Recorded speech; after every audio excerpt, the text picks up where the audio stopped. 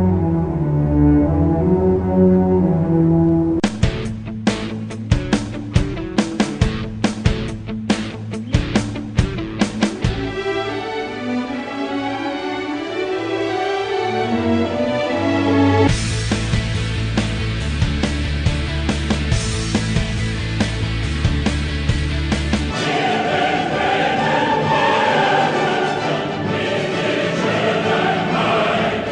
Donc nous avons mis en place euh, cette action pour euh, montrer aux jeunes principalement qu'il y a une euh, grande possibilité de mobilité en Europe. Oui, c'est utile parce qu'il y a beaucoup de jeunes comme nous qui ne connaissent pas forcément les programmes pour eux pour les aider à partir en Europe. En allant travailler en Europe ou en effectuant un stage en milieu professionnel, rencontrer d'autres jeunes européens. Je pense que ça nous, ça nous permet de voir qu'on peut, on peut le faire vraiment.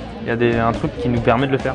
La mission locale s'est jointe au bureau information jeunesse pour, pour pouvoir aussi informer les demandeurs d'emploi et les jeunes apprentis sur ces dispositifs, euh, sachant que la région soutient financièrement euh, différents programmes euh, de mobilité en Europe. Aujourd'hui, on est surtout là pour faire connaître aux jeunes que la mobilité internationale est importante. Partir dans, dans un pays de l'Europe, c'est pas juste pour visiter. Il y a des formules qui permettent de travailler et de visiter en même temps dans différents domaines euh, tels que l'éducation, la construction, la rénovation, l'agriculture. Moi je pensais pas que c'était possible de faire ça, de pouvoir faire ça, d'aller travailler sur des chantiers à l'étranger ou même en France avec d'autres personnes.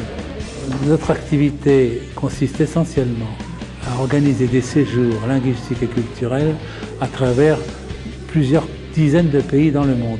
Partir de 3 à 7 mois à l'étranger pour pouvoir faire une formation euh, dans une entreprise et apprendre la langue en même temps. Un stage en entreprise, euh, séjour au pair, le choix des familles se fait suivant le profil des candidats et réciproquement. On est une association qui est tournée euh, vers l'actualité des nouveaux États membres.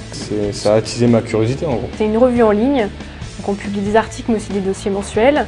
Et puis on a des activités plus grand public, euh, on fait des débats euh, tous les mois et on a des actions euh, spécifiques envers les lycéens. C'était très bien expliqué, on a, on a appris des choses. Donc c'est important de, de, leur montrer que l'Union Européenne peut leur proposer des choses pour qu'ils bougent en Europe. Qu'est-ce que l'Europe quelles sont ses cultures, son histoire, sa géographie? Bah moi j'ai appris une, une réponse, c'est qu'il y avait les élections européennes il n'y a pas, dans pas longtemps. Puis je leur raconte aussi un peu de mon expérience personnelle? Parce que je suis étudiante Erasmus aussi. Toi elle explique son point de vue, si elle a déjà fait, elle explique comment ça s'est passé.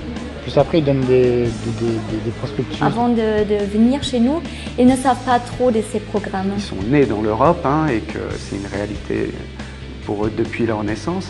Euh, mais on constate qu'ils connaissent quand même beaucoup de choses et qu'ils s'y intéressent. Non, si, parce que là, en ce moment, c'est la crise. Et bah, s'il n'y a pas d'opportunité de travail en France, et bah, j'irai voir à côté.